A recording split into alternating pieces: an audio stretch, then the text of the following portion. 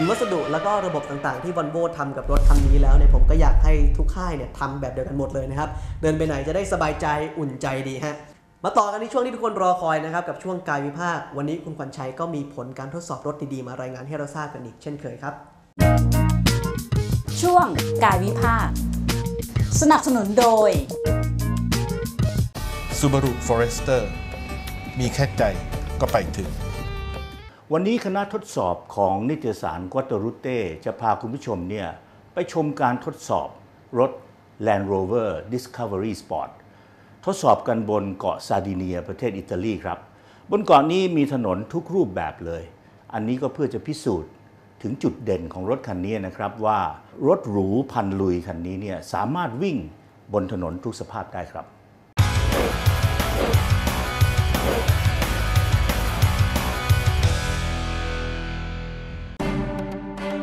สำหรับภายนอกของ Land Rover Discovery Sport เนี่ยนะครับ โครงสร้างตัวถังเนี่ยเป็นโครงสร้างที่ใช้ร่วมกับ Evoque และก็มีความคล้ายคลึงกับ SUV ตัวธงอย่าง Range Rover ด้วย โดยเฉพาะตัวถังส่วนหน้าแล้วก็ส่วนท้ายเนี่ยสัดส่วนของรถถูกรังสรรค์ขึ้นมาใหม่ เส้นสายเนี่ยไหลลื่นและดูทันสมัย แต่ก็ไม่แหวกแนวจนเกินไป นับเป็นการผสมผสานกันได้อย่างลงตัวครับายในห้องโดยสารของ Discovery Sport ออกแบบได้งดงาม เน้นโทนเคร่งขรึมแล้วก็เรียบง่าย แผงคอนโซลและเบาะนั่งเนี่ยใช้วัสดุชั้นดี ให้ความรู้สึกแข็งแรงทนทาน พวงมาลัยมีขนาดค่อนข้างใหญ่ แต่รูปทรงเนี่ยเป็นแบบเบาบางนะครับ ปุ่มควบคุมต่างๆ ก็จัดวางอย่างเป็นระเบียบ ติดตั้งช่องต่อแบบ USB เนี่ยหลายตำแหน่งเลย สามารถที่จะชาร์จไฟได้ในตัวครับ Land Rover Discovery Sport นี่นะครับ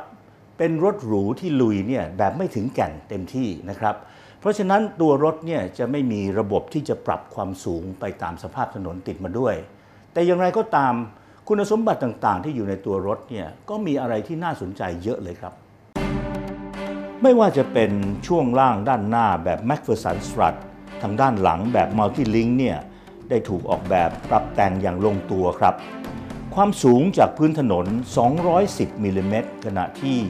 SUV ระดับเดียวกันเนี่ยจะสูงจากพื้นถนนประมาณ 180 มิลลิเมตรเท่านั้น อันนี้รวมไปถึงความสามารถในการไต่ขึ้นทางชัน 45 องศาด้วยนะครับเกาะซาดิเนียเนี่ยนับเป็นสถานที่เพียงไม่กี่แห่งในประเทศอิตาลีที่ยังคงสภาพแวดล้อมทางธรรมชาติได้เป็นอย่างดี เราได้เจอกับถนนหลายรูปแบบครับ เส้นทางลาดยางที่แตกต่าง ลัดเลาะไปตามชายฝั่ง แล้วก็พาขึ้นไปบนภูเขา ผ่านลำธารตื้น เนินทรายที่มีความสมบุกสมบัน ตั้งแต่ระดับเบาจนไปถึงระดับหนักหน่วง จัดว่าเป็นสถานที่ที่เหมาะสมสำหรับการทดสอบรถรุ่นนี้เป็นอย่างดีครับ เราใช้เวลาร่วม 2 วันเต็มกับระยะทางกว่า 1,700 กิโลเมตร ทดสอบ Land Rover Discovery Sport ที่มาพร้อมกับเครื่องยนต์ดีเซลเทอร์โบ ขนาด 2,179 ซีซี กำลังสูงสุด 190 แรงม้า เกียร์อัตโนมัติ 9 จังหวะ มาตรฐานไอเสียยูโร 5 ซึ่งในเร็วๆนี้นะครับจะถูกทดแทนด้วยเครื่องยนต์บล็อกใหม่ขนาด 2 ลิตรครับ ตัวรถนั้นให้ความรู้สึกมั่นคงยึดเกาะถนนดีมาก แต่ยางสำหรับลุยโคลนและพื้นทรายเนี่ยนะครับ อาจจะไม่เอื้อต่อการยึดเกาะถนนสูงสุดนะครับ ระบบรองรับเน้นความนุ่มนวล ระบบส่งกำลังทำงานไม่ฉับไวเท่าไรนัก ขณะทดสอบบนพื้นผิวเปียก ระบบควบคุมเสถียรภาพของรถเนี่ยช่วยเหลือได้อย่างเหมาะสมเลยครับ ไม่มีอาการเสียการทรงตัว ช่วงทางตรงเนี่ยบนพื้นผิวแห้งนะครับ ตัวรถมีความมั่นคงดีทะยานได้อย่างลื่นไหล อาการท้ายเบาเนี่ยแทบจะไม่ปรากฏให้เห็นเลยครับ อย่างไรก็ตามระบบควบคุมเสถียรภาพ ส่งแรงสั่นสะเทือนมาบ้าง แต่ก็ควบคุมตัวรถได้ ในโค้งนะครับ ตัวรถมีการถ่ายเทน้ำหนักมายังล้อทางด้านนอก เกิดอาการโอเวอร์สเตียร์เล็กน้อย แต่ว่า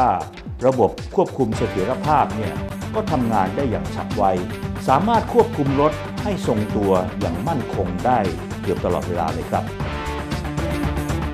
แม้จะต้องฝ่าฟันอุปสรรคมากมาย ทั้งสภาพอากาศที่ค่อนข้างเลวร้าย แล้วก็พื้นถนนที่หลากหลาย